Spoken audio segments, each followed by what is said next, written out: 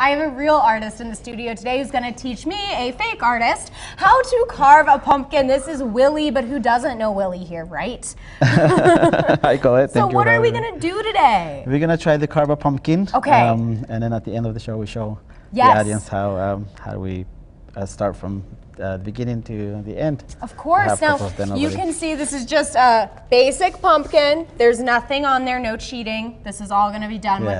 within 20 minutes. Willy's so fast. It's ridiculous. And no matter what mistakes I make, he's going to correct it so it looks really nice for you guys at the end. All right, so how do I start? So there's a couple of things. One of the things that we do first, Okay. depending on what design we do this ca- this case, we're gonna peel the pumpkin. So you can go with that one. Do I- should I pick a certain side? You do wanna like, for instance, you want if you're creating something really cool, like you want the nice That nice yes, extended that, so you side. have more room to work on. Okay, and I so just start peeling? Yep, we take all the um, the skin off, and it's nice. The more messy, the better. Actually, it just Okay, it gives you that. So just go around, take take uh, in the area where you're gonna work on.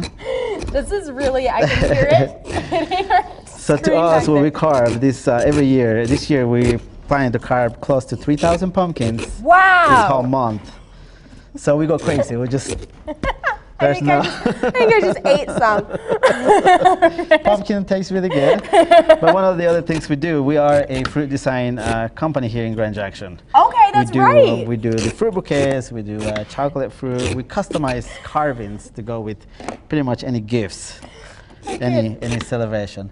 You know Is how this fun? doing That's- good? Yep, yep. So take Yeah? all this part. Take it So, all. Look at how much faster he crazy. goes. I'm like all like taking my time. Well, that was kind of fast. That was kind of fast. Yes.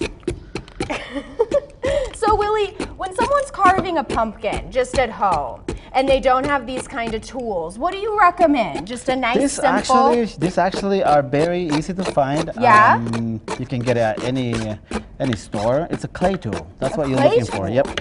So all I did is reinforce it a little bit because pumpkin's a little bit harder than clay. right. But you can do that, and then it works perfectly. You can see us here. She already have all the skin out, and then we'll start designing the the um, stuff. Of course. Now we're gonna design a one. I keep hitting myself in the face.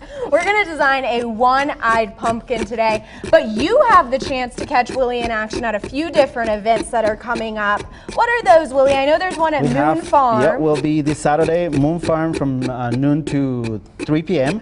You'll see us carve. We've put in a whole nice design there. Uh, you can watch us carve live. Um, if you guys have any questions about how to preserve your pumpkins, we can help with that as well. Um, we'll be at the Botanical Garden here Yes. locally. I will be carving on the 13th, and also the Mesa Mall is putting a, in a free event that's called Boo and Brew. Uh-huh. We'll also be carving live and something different that we're creating. You guys gotta go check it out. Gotcha. So some of the stuff that we do as well, we put it on our website. Uh, you can check it out. Some of the, we do a lot of events. We go out of town. We're leaving the 13th to go to Denver for two weeks. right. We're gonna carve a bunch of pumpkins up there. So Those are always really It'll be exciting. a Willy's fun, done some really intense stuff. stuff. Some night, some full-fledged, real life-size. Now, Willy, I did notice we didn't hollow this pumpkin. no, oh my no. goodness. I'm And a then at the end, we show you what. Um, Why what we don't hollow? create. Yes. Now, is this? So in do I need to take off more? Nope. So take a little bit more here, and then Take we're a gonna little start more creating here. the face Okay. on it for you. But as you can see, we create uh, logos on pumpkin, and here's the one that I've been uh, working on as well.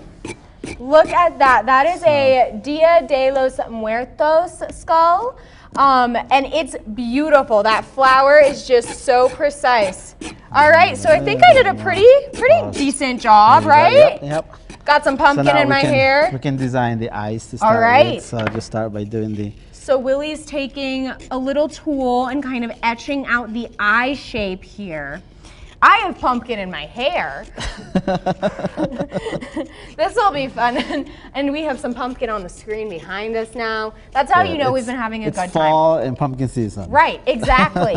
now, as you guys are probably aware, I'm not as great at this as Willy is. So what he's doing right now is he's adding in those details, those real precise pumpkin skills that really make these pumpkins come to life, like the ones in front of us. I love the KREX one and the Dia de los Muertos. Thank you so much for It bringing is those my in. pleasure. Thank you. But so Willy is actually going to be hard at work while we continue on throughout the show. And at the end of the show, stay tuned because he's going to show you how he turned my kind of messy art into a real work of pumpkin art. Thank you so much, Willy. It is We'll be right back. Thanks for having us.